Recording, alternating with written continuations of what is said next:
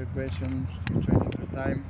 Train It it. was uh, very nice to be here. Yesterday was a long day for me. I went from Athens to Barcelona, Barcelona to Nice to pick up some uh, stuff uh, in Nice, and then Nice, Amsterdam, and Amsterdam, Düsseldorf. So it was a long day, but uh, I'm a little bit tired today. But uh, it was a good training session, and I'm really happy to be here and really happy to meet uh, teammates and everybody. So I'm really happy. What your ex- expectations with Panathinaikos?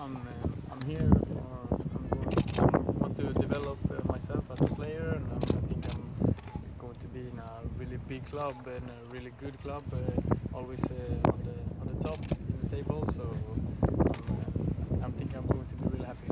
Niklas, you spoke with Martin Berg before you come here.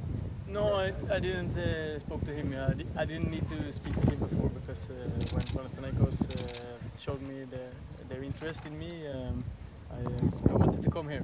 It, would, So- will be more easy having a Swedish player here. Yeah, of course. It's uh, always nice in the beginning to have someone to talk to uh, in your own language. So I'm really happy that uh, Marcus Berg is here also. You have uh, started pre-season with Nice. No, I haven't. So this is, was my first training. Yes. Yes. How you feel?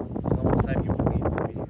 No, give me one week and I'm ready. So I'm I'm uh, pretty easy to train up. So uh, I have uh, I have done uh, training on my own in Sweden, so it's no problem for me.